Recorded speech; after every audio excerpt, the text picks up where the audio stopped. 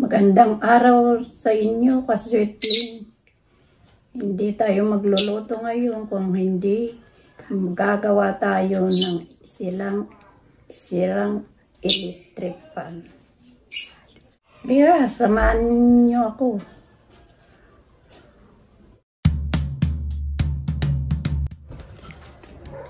Ito, mabagal ang ikot.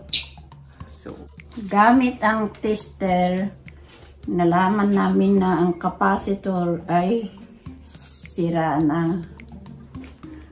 Ito ngayon ang papalitan natin.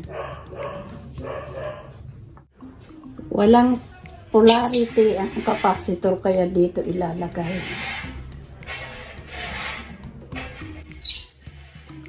Kaya kahit baliktad yan, pwede.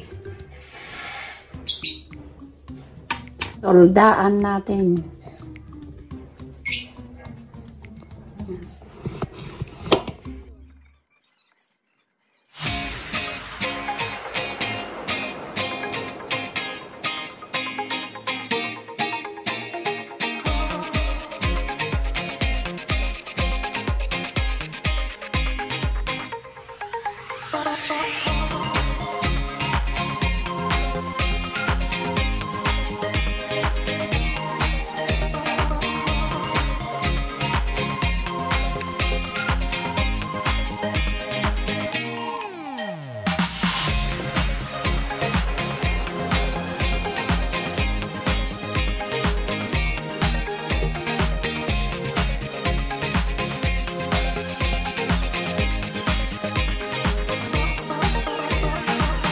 Ang sukat ng capacitor na ginamit natin ay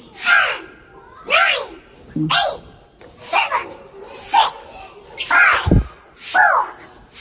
microfarad. 2 microfarad. Farad. 2 microfarad.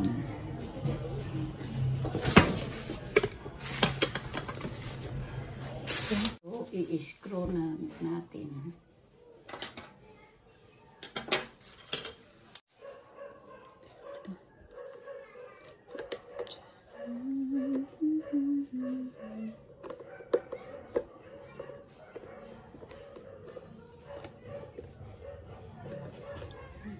Kaya i-test na natin kung gagana siya.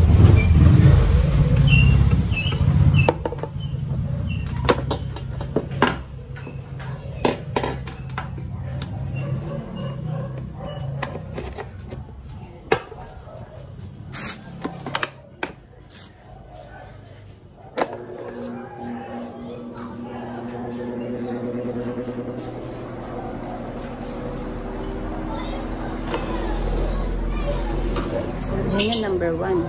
Ay. Kalimutan natin isara.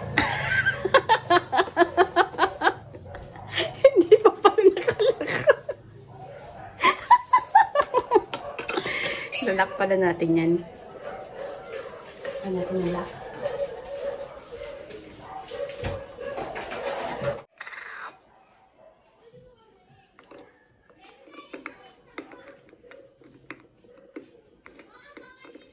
over.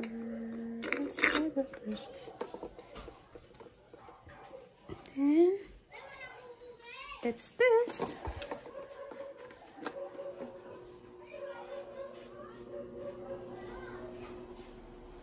Ah, oras na. Number 2.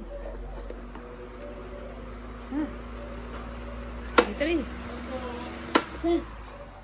Na. Successful ang ating gawa. Lilinisin na lang natin.